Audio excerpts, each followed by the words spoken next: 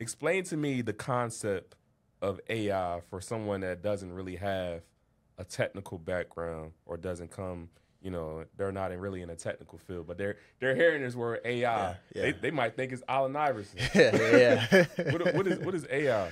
Yeah, so um, really it's creating or giving a computer the ability to to think on its own, to make rational decisions on its own. You you see it in the form of like I don't know if everybody's paid attention to like the the robots that are now beating people in chess games or like uh, autonomous driving, right? Things that are continuously learning without uh, human interaction. And then you kind of take a piece of AI in the form of machine learning, right? Machine learning is is actually teaching and manually teaching um, the computers to learn, right? So let's say, for instance, you want to teach your your camera to be able to detect a particular person, like uh, or a particular fruit or a water bottle, right? You will feed in all these iterations of a water bottle, all these iterations of an apple or orange or a person, right? And then now that computer can start to learn and reinforce that learning, and then ultimately get to a point where they can detect with a reasonable degree of certainty that this is in fact an apple, this is in fact an orange, or this is in fact the person that I think it is, right? And so when you start to kind of go down this path of, of AI, AI is the broader, you know, the broader umbrella of everything that falls under that, and machine learning happens to fall under AI. Yo, plug me in.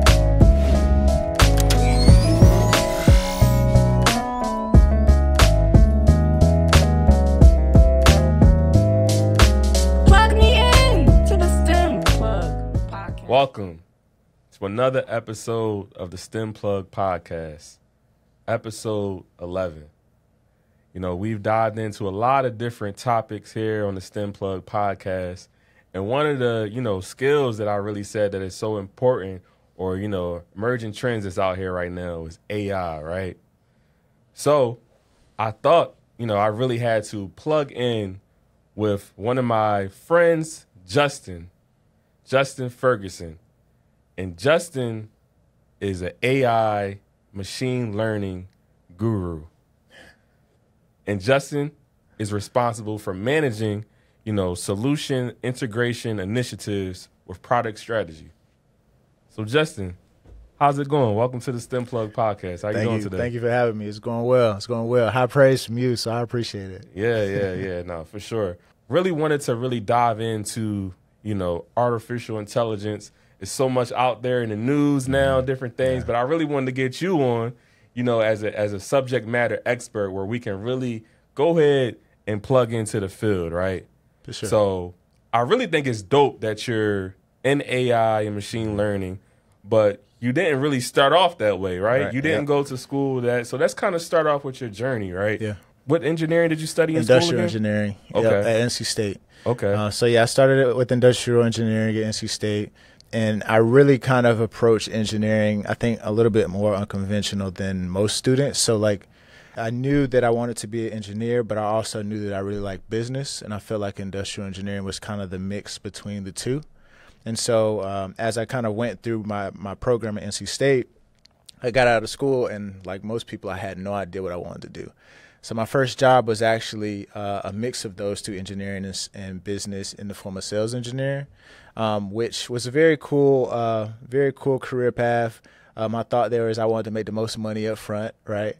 As you can kind of imagine, by me trying to figure out, you know, what I wanted to do, I was really trying to, you know, seek guidance from as many people as possible. And so I found a couple mentors at Schneider um, that, you know, helped me to kind of build out my own individual development plan. And so one of the, the pieces of feedback that I got was really to gain a skill from every role that you have. And by the time you finish gathering all these skills, you should have an idea of where you want to go. And so from sales, I took, you know, being an effective communicator, um, being able to get what you want, being able to uh, build relationship with people. And then I navigated to the other side of the business, which is project management, which, you know, you, I think you're very familiar with Yeah. project management. So Okay. did that for a little bit. Um, then I decided to kind of take a shift and go more the design route in the form of uh, a solution architect. And then lastly, you know, while I was at that point, I really wanted to kind of get back into the space of kind of that industrial engineer stats background, and so I went back to get my master's from Wake, and then transitioned over to SAS. Okay. So so with all that being said, did you take any like certifications specifically Mm-hmm. to get into AI or did you just rely on your kind of your practical experience and translate it into that to that area? For me, I did go back and get my master's at Wake Forest in uh, business analytics, Okay. and so I wanted to. I didn't want to step fully away from corporate America um, because I very enj- much enjoyed the paycheck, right? talk but about let's talk about it. Plug in. yeah, yeah, I, I, I didn't want to step away from the from the paycheck, so I did the online course, and I was part of the first cohort. And I remember my pr- first professor that I had, um, Dr. Balin, and then also Mike Ames. They both worked at SAS, and so they had transitioned at the time from working at SAS, but they taught us programming and and R. They taught us programming in SAS, and so that was kind of really my first introduction to kind of the world of data science and, and AI and machine learning. And so that's kind of what sparked everything and, and put me on my trajectory to where I am now. Mm, Yeah. Okay. Okay. So with that being said, right? So what what kind of motivated your, you know, your transition from Mm-hmm. your previous area that you're in to kind of being in AI now? Was it was it uh? You, we could talk about it. Was it Yeah. the, was it the bag? Was it the money? what, what, what what kind of uh motivated Yeah. that transition? A little bit of everything. Um, I think the money definitely played a part for sure, for sure. I don't want to minimize that, but I think another thing that played a part was really transitioning into a space that was still relatively new and being kind of on the front end of it, right? Um, I didn't want to kind of stay in this space that was, you know, a little bit uncertain or relied too heavily on regulation or, you know, was in kind of this one little niche space. I wanted to go somewhere that kind of gave me the freedom to kind of go along with the trend instead of kind of being on the back end of it. So the money played a part, but not being in an industry that wasn't, you know, faltering or anything like that really was important to me as well. Mm, mm, okay. So would you say? I know we we talked about like you know the the educational part, right?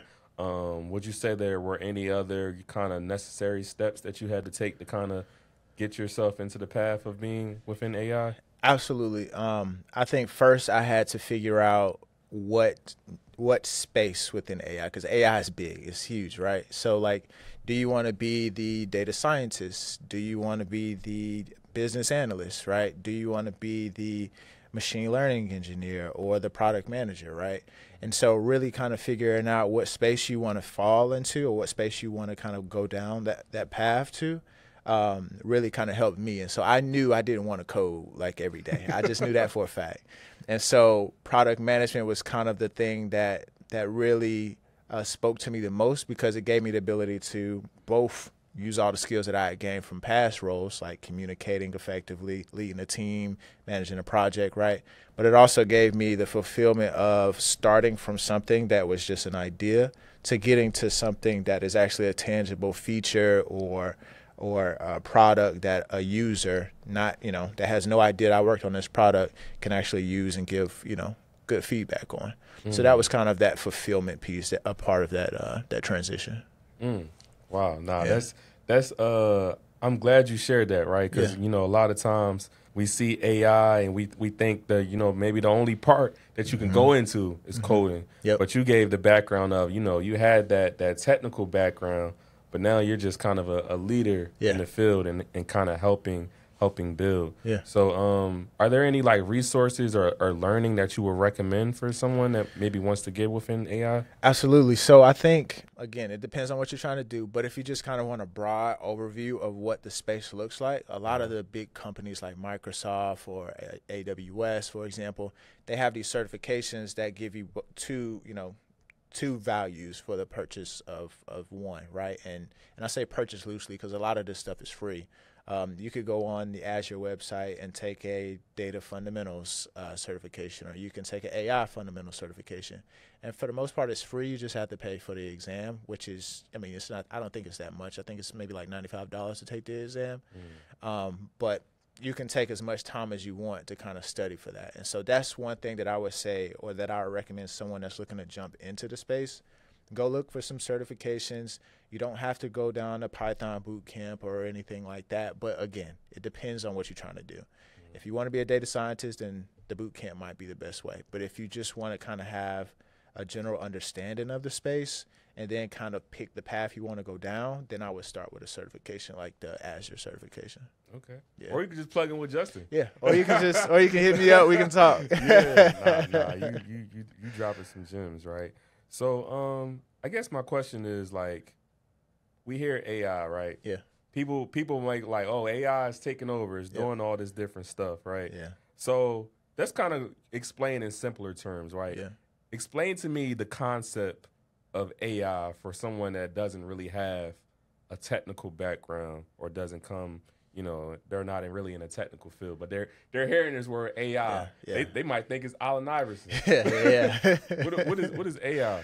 Yeah, so um, really, it's creating or giving a computer the ability to to think on its own, to make rational decisions on its own. You you see it in the form of like, I don't know if everybody's paid attention to like the the robots that are now beating people in chess games, or like uh, autonomous driving, right? Things that are continuously learning without uh, human interaction, and then you kind of take a piece of AI in the form of machine learning, right? Machine learning is is actually teaching and manually teaching um, the computers to learn, right? So let's say, for instance, you want to teach your your camera to be able to detect a particular person, like uh, or a particular fruit or a water bottle, right?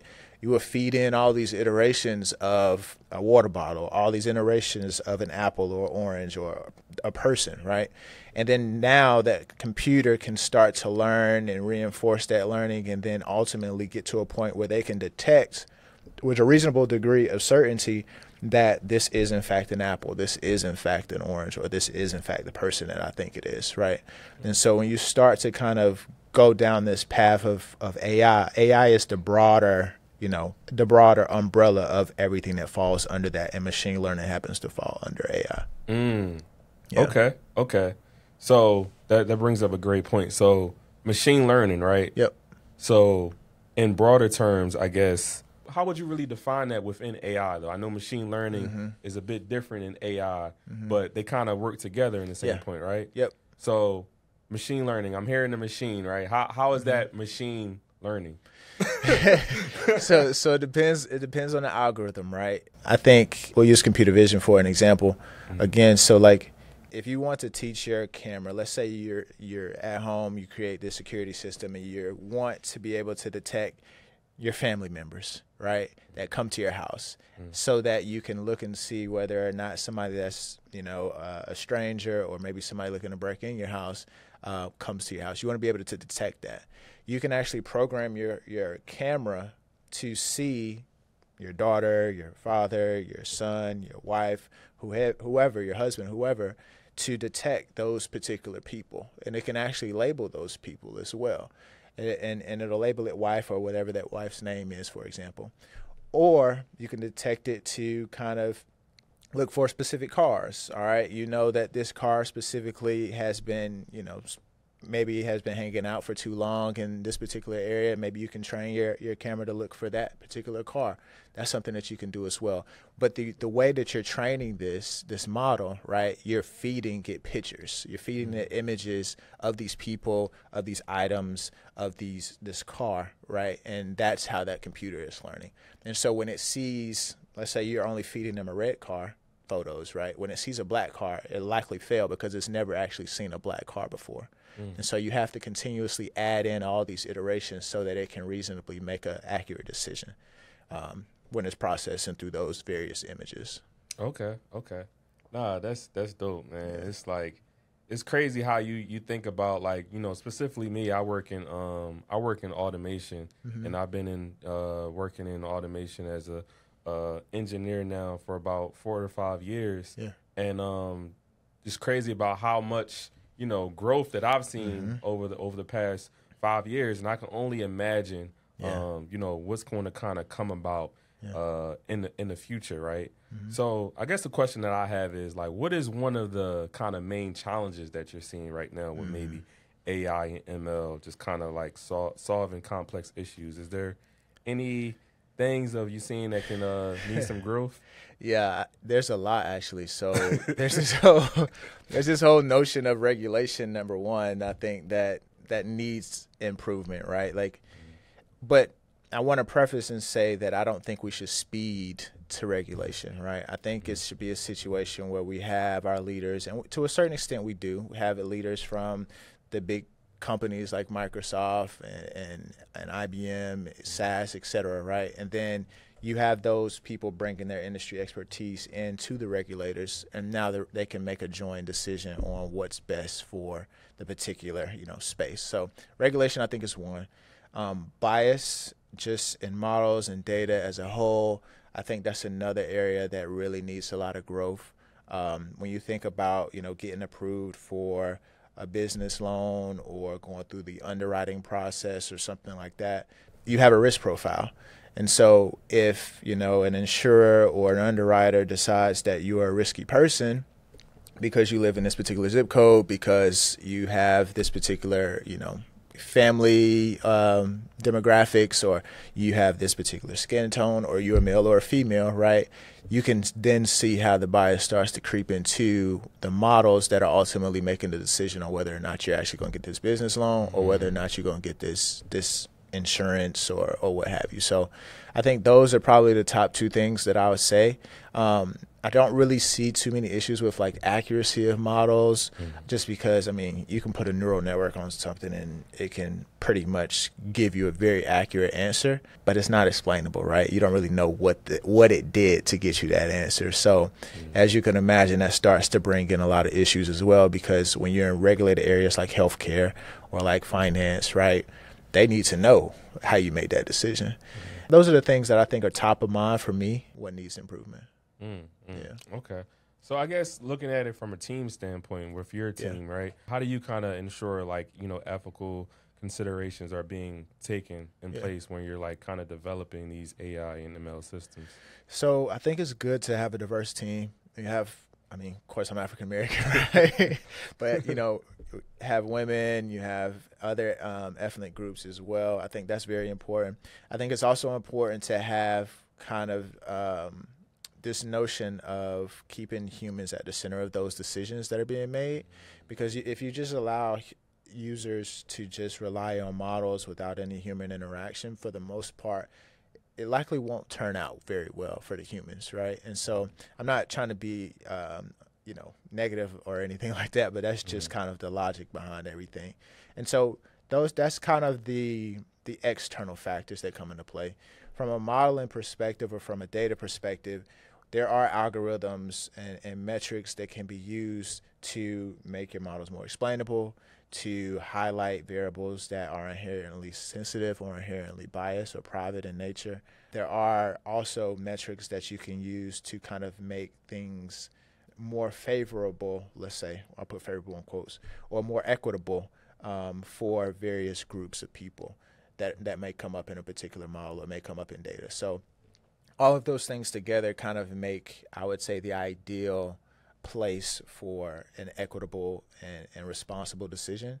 But all of that's also a process, right? Everything can involve everything. You know what I mean? So you yeah. have to kind of make sure that the application fits what you're trying to add to the recipe. No, that's you. You brought up a great point that I always kind of think about. Right, mm-hmm. it's just like how do we kind of navigate, you know, the balance of AI and human decision making, right? Yeah. Especially when critical domains. Like how yeah. do you, how do you uh how do you navigate that balance of knowing like, all right, yeah. no, this still needs to be human regulated and not you know just kind of t- letting AI take over. How, how do you how do we balance that? I think the easy rule of thumb is um, if the decision will uh, impact people's lives, I think that's kind of a good rule of thumb to start with.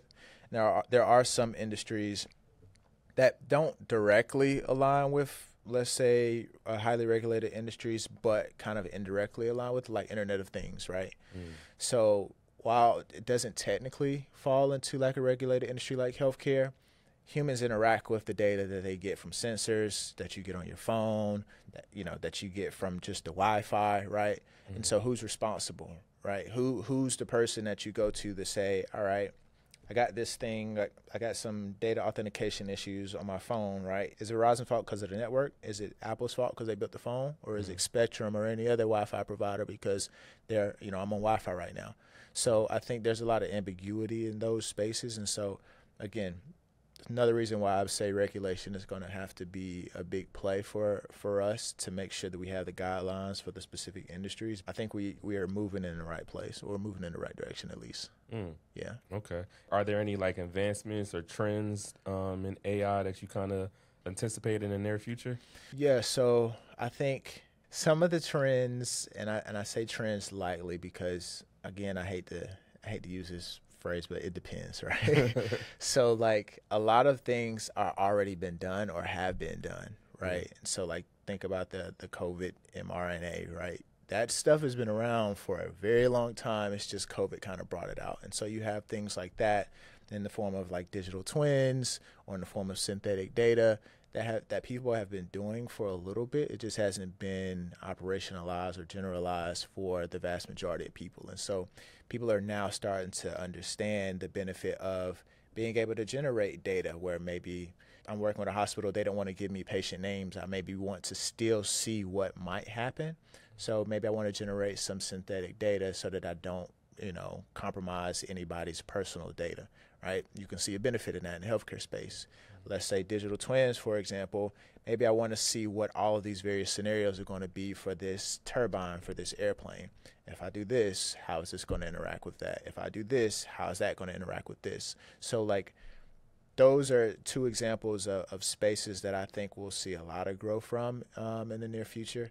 But again, I, I think it all depends on kind of where where people go with it, how many people adopt it, and how interested people are in it, and how comfortable they are they are with it. One of the things that I really find interesting with AI is, you know, I, I use a lot of, uh, I use AI to help me create different content, Yep, different yep. stuff like that. And, um, you know, ChatGPT, Yep. everybody is taking over right now. A lot of people are using uh, ChatGPT for different features, right? Yeah, Um, but I definitely feel like sometimes, you know, people may overuse it. uh, for sure. so, For sure. like, where where do you kind of see the impact or foresee the impact of AI having on on education in the future? Do you yeah. where do you where do you kind of see that going? So I think ChatGTP, for just as an example, Yeah. I think that's going to have the impact that the younger generation kind of allows it to have. So like I know a lot of students now are using it to write essays and they're getting caught. Or like I know they're using it to, you know, do other things like help them with homework assignments, tests, quizzes, whatever, right? And they get caught, right? Um, so I think that piece is you know it's the bad side of it i think it is powerful a powerful tool i think people should use it but i think people should use it as a complementary tool you know what i mean? Um, something that they can use in uh, conjunction with what they already know or what they're already doing. So like for instance if you're having writer's block Mm. ask give it a prompt see what it spits out take what it's you know take what it spits out and then kind of start to form your own stuff from it right? Or like for instance if you're struggling with code it doesn't make sense for you to sit there and look at your computer for the next six hours if you can ask ChatGTP, hey can you help me with this r code or this python code um, for this? You don't have to give it specific variables that might be proprietary for a user or project or whatever you're working on but you can give it example variables and say hey build me a query for this. Build me a algorithm for this and it'll spit it out. And that's how you i think that's the best way to use chatgtp um, so yeah. Nah, nah, that's that's dope. Like you said, kind of just really having that, I guess, foundational knowledge, right? And then Yeah. you want to kind of build upon that. Don't try to have AI do everything Right, for no, you, right? no, like, not- no, no, like you gotta give AI a little break, right? Yeah, yeah, yeah. Uh, Yeah. But that, that's dope. So I guess with you, right, within your um your AI journey, are Mm-hmm. there any um specific projects that you without you you know fully disclosing Yeah, yeah, yeah, everything? yeah, Are there yeah. any projects that you're kind of excited about or that you you know worked on in your journey that have been pretty pretty cool within AI? Within AI, yes. Um, most of them have been while I was in school, and that's not talking about work or anything like that. Most of them have been um, while I was in school. We did a couple projects um, around, like for instance, the opioid epidemic. So we actually ran a model or built models to see uh, which doctors were overprescribing opioids, and so we built in a specific threshold and. It was actually real data. So it had like people's addresses and stuff. It was it was crazy. so that was one project. Um, I, I found a project on Kaggle as well, which is kind of this this website that allows you users to come in and do projects for various companies. And so they'll release like a data set and they'll have like a problem statement and you'll go and you'll build your model and whoever has the best um, accuracy metric, um, I'll generalize the accuracy metric, will um, in most cases win like a cash prize associated with it. So I did one of those as part of my um, senior project. And so mine was really around highlighting why um, women, people of color weren't applying for a lot of jobs um, and I can't. I think it was somewhere in California, um, but a lot of it was around how words or how the job descriptions were written, right? So they use words like he, or they use words um, that were inherently more quote unquote masculine or or inherently more quote unquote feminine, right? So mm. you can kind of see how if I read, if I am a you know a man and I read something that has quote unquote feminine language, and I put that in quotes, I might be less inclined to apply for that role because I don't think that that role is for me.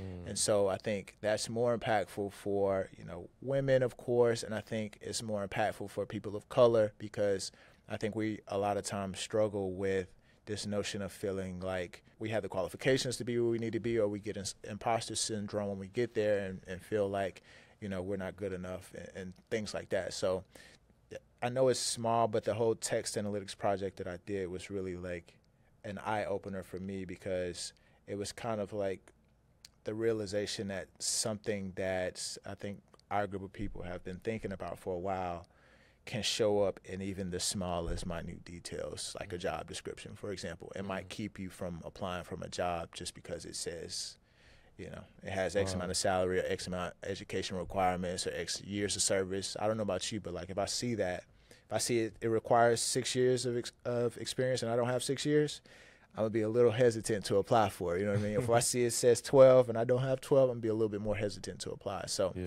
it was things like that that I worked on that were pretty cool.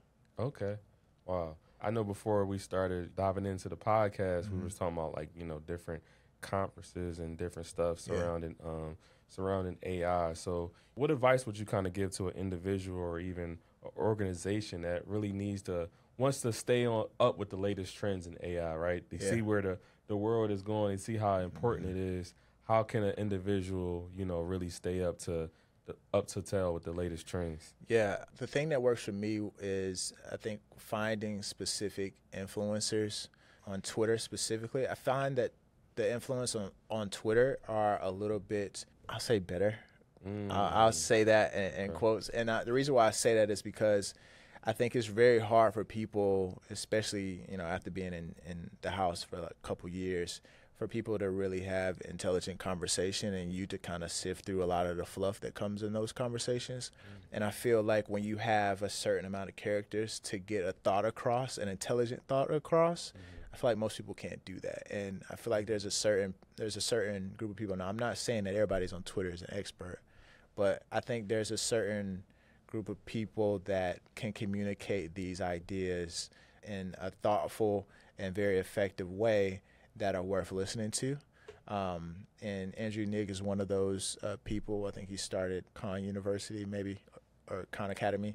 Mm-hmm. Um, but he's one of those those people that I think communicates very effectively. And if he's not specifically communicating, he can actually he'll retweet things that you know you might find interesting. And so you can look at stuff like that. You can look at uh, organizations like NIST that are putting together guidelines around AI. Um, the EU Act has, has um, with some recent regulation out in the EU. Singapore is doing some good work around kind of frameworks and guidelines that you can use. Um, and a lot of these larger corporations are also forming their own responsible AI or trustworthy AI organizations as well. So people from those groups, um, not like again, I'm not saying everybody, but you kind of have to use your best judgment on the people that you want to listen to, just like any other thing. Mm-hmm. Um, but that's a good place to start if you're looking for actual people to kind of add a little value to or add a little sauce to what you already know or might not know about AI. Okay. Yeah. So, so do you have any, I guess, specific advice? You know, STEM Plug podcast. Yeah. We we cater we cater to all people, right? Okay. So it might be someone that doesn't have a technical background, Yeah. right? Yeah. But they're seeing AI. They're like, oh, AI isn't Yeah. Allen Iverson. This is actually something that I can do, right? Yeah, it is. so what what what advice would you give to someone that doesn't really have a non Mm-hmm. uh they have a non technical background, right? Yeah. But they want to enter in the field of AI. Do you feel as though there's opportunities that people can get into AI without even having a you know specifically a four year degree? Yes, uh, and the reason why I say that is because um, I think number one, a lot of startups need need help as well. I think it'll be a little bit tougher for the more traditional companies because they have expectations. But even some of those companies, they're starting to lift a lot of the college regulations. But I think if you don't have any technical background, if you don't have any experience, everybody has a passion, right? Whether it's music or it could be arts, it could be finance, right? Find one of those projects and see how you can apply AI to it, right? And it could be something simple as figuring out how to, um, you know, create. You've seen these AI music uh, videos that have been coming out. So it could be something as simple as you know making an AI song or that to sing, I don't know, Mary had a little lamb or something like that, right? Just something small in your passion area that you can focus on, you can spend time on because that's going to be the key, spending time on it. And I think it's a lot harder for people to spend time on things they're not really passionate about, especially when you're trying to get started and learn something new. So, like, just spend some time, pick a project that you want to do. One of the first projects I did was building a algorithm to um, to kind of highlight the differences between one portfolio that might be that might was was a little bit uh, more conservative uh, to a portfolio that was a little bit more aggressive, and just comparing the two. That was a project, and I know that sounds that probably sounds like more complicated than what you know it actually is but like when you actually start looking through information online and you actually start finding like snippets of code you realize it's not as robust and it's not as complex as you think it is No, that's that's that's dope. We've plugged into a lot of areas of AI and machine learning, right? yeah And you've you've had a you've had an amazing journey, right? yeah yeah But I really want to kind of learn from you, right? Mm-hmm. Has there been any kind of obstacles or, or challenges that you've kind of faced yeah on this amazing uh, journey up to the AI path? You know, have what let's plug us in with you know kind of some of the challenges that you might have went through, so someone can really learn from your story, right? yeah yeah are you speaking ai specifically or are you just speaking in general Whatever you want to plug in, bro. Okay. Whatever you want to plug in. yeah, so I think um, I think for me there was a a bit of imposter syndrome that kind of snuck in, and the reason why I say that is because I've had the the privilege to kind of jump into a lot of different fields. I started in energy management. I moved into uh, supply chain uh, software. Then I moved into kind of this billing subscription based stuff, and now I'm in AI machine learning. And so with that, I never really was able to really spend as much time learning in these areas. I just kind of had to go in and just show up day one, right? And so, as you can imagine, I'm around these smart people all the time. And so, I had to spend a lot of time, like, you know, after hours, staying up, reading, and, and actually looking through videos and finding cool stuff online just so that I felt like I was in the same stratosphere. You know what I mean? As as the people that have been doing this for 20 years. Um, and so I think that for me kind of contributed to a lot of the imposter syndrome that kind of came up. I think I was a little bit too harsh on myself. And the reason why I say that is because there's so much value you can add to a room full of PhDs. There's so much value you can add to a room full of experts. There's so much value you can add to a room full of people that, you know, have been doing this for 20, 30, 40 years. And so once I realized what my value was, and that value was really connecting people, even if I didn't know the answer, I knew how to find somebody that did know the answer. And so that was the value that I started bringing to the table. And so people started to respect that, and I started to get more opportunities. And then through that process, I was also learning about the things that I had originally had no idea about. And so it was kind of this double win for me because I'm both adding value and I'm learning at the same time. So I was able to grow both professionally and personally, honestly. Yeah. Nah, that's. I mean, I, I can kind of attest to that too on my journey. You know, imposter syndrome is real, right? Yeah, yeah, yeah, for you sure. know, especially when you're the youngest person on your team. Everybody doesn't look like you. It's Mm-hmm. Yep. like you know, those Yeah. thoughts come through your head. So I Yeah. definitely can agree with you on that. And um, but now look at you now through your experience. You uh kind of got through all of that, right? Yeah. So would you say there's a specific uh soft skill that is Mm-hmm. is well, you know, really good for being within the field of AI? Is it Yeah. a key soft skill that you would kind of tone on? Yeah, for sure. I think um, being able to communicate complicated ideas and complicated um, topics effectively to all people, right? Not just the most technical person in the room. And I, there are some people that just kind of want to use a lot of big words and just kind of sound smart. You know what I mean? But I, what I found is that there are more people that have no idea what you're talking about than there are that do. And so being able to just take a complicated topic and communicate it to somebody that has no idea what you're talking about and they actually understand it, I think that's the best skill that you can have in analytics because you can really, honestly, anybody can learn how to code. I'm not saying everybody can code at a high level, but everybody can learn how to code. And so when you can kind of take the results that you got from whatever your pet project is or your project at work and kind of synthesize that into something that um, is relatable or something can something that people can understand effectively, I think that's kind of the thing that takes you to the next level that I think most people overlook. Mm, mm, okay, okay. Well, now I appreciate you plugging in everything we sure. plugged in today, Justin. How can our, um, you know, our listen listeners and audience stay in contact with you? Yeah, yeah, uh, for social su- medias. For sure, for sure. So um, I was just telling you offline. Um, I'm not too big on social media, but feel free to connect with me on LinkedIn, Justin Ferguson. And if you do want to follow me on Twitter, I just created Twitter today, so give me some grace there. Okay, go get those Um, follows. but it's it's J Ferguson X10, so J Ferguson times 10. So uh, that's my Twitter handle. And uh, yeah, man, I appreciate you having me on here. Okay. Yeah. Well, we appreciate you plugging in with us today, Justin, on the STEM Plug podcast, episode 11. Uh, you plugged in a lot of areas of AI and machine learning. Um, so make sure you subscribe and hit that like button and stay tuned for more from Justin in the future. Stay plugged in.